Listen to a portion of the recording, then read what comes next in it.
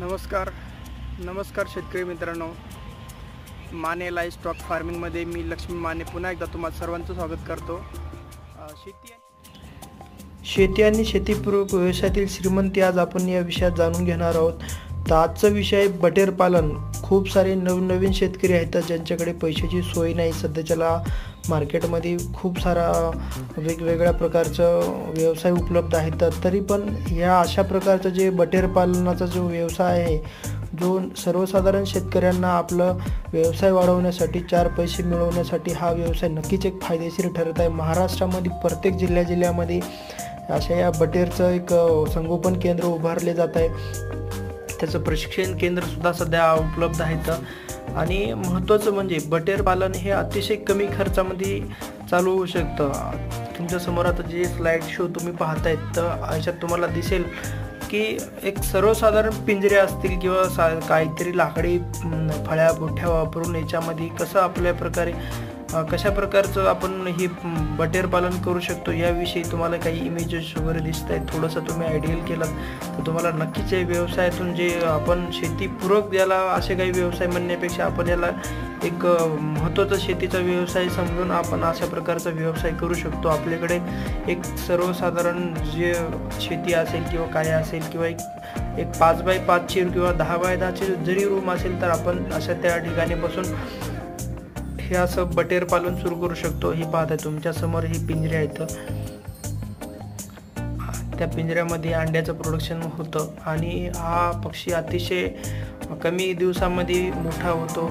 जवळपास चाळीस दिवसामध्ये हा पक्षी तयार होतो आणि पन्नासाव्या दिवसात पन्नास ते साठाव्या दिवसापासून पूर्णपणे या पक्षीचे अंडे सुरू होतात. तर त्या हिशोबाने हा इतर कोंबड्यांपेक्षा इतर पक्ष्यांपेक्षा हा व्यवसाय अतिशय चांगल्या प्रकारचा आहे. कमी खर्चामध्ये ज्यांना अशा प्रकारचं उत्पादन घ्यायचं असेल अशा प्रकारचं आपलं व्यव- व्यवसाय वाढवायचा असेल तर त्यांनी नक्कीच बटेर पालनाची निवड करावी आणि जेणेकरून आपलं अर्थार्जन वाढवण्यासाठी अशा या लवकर वाढणाऱ्या गोष्टीला त्यांनी प्राधान्य देऊन अशा प्रकारचं बटेर पालन सुरू करावं. तर सर्वसाधारण शेतकरी जेव्हा सुरुवात करत असतात त्यांना या उद्योगामध्ये माहिती तर नसते मात्र सर्वसाधारण एक माहिती येण्यासाठी एक काही प्रश्न की जे शेतकरी सुरुवात करणार आहेत त्यांनी कमीत कमी पाचशे पक्षी घेऊन सुरुवात करावी. कारण यामध्ये रोगराईचं प्रमाण फार कमी आहे. शक्यतोवर तर एक दिवसाचा पक्षी कोणी घेऊ नये. कारण एक दिवसाचा पक्षी खूप लहान असतो त्याला टेम्परेचरची सोय व्यवस्थित हो- न मिळाल्यामुळं मर्तुकीचं प्रमाण वाढू शकतं. आठवडा किंवा आठवड्याच्या पुढचे पक्षी जर घेऊन सुरुवात जर केली तर नक्कीच आपले हे पक्ष्याचं जे नुकसान असेल ह्या खूप साऱ्या गोष्टीचं नुकसान आपल्याकडे कमी होतं. आणि याला कुठलेही वेगळ्या प्रकारचे वॅक्सिनेशन वगैरे काही द्यायची आवश्यकता नाही. खूप अतिशय कमी खर्चामध्ये आपण याचं संगोपन करू शकतो. फक्त साफसुथरं ठेवायचे काहीतरी. दुसरं इतरत्र घाण वगैरे इथं याच्यापर्यंत पोहोचवणार पोचणार नाही. याची आपल्याला काळजी घ्यायची आहे. तर ज्या शेतकऱ्यांना या पक्ष्याचे बटेरचे पक्षी पिल्लं अंडी खाद्य औषधं भांडे केज सिस्टम बॅटरी सिस्टम जे काही असेल जे काही गोष्टी पाहिजे असतील तर त्यांनी माझ्या नंबरशी संपर्क करा.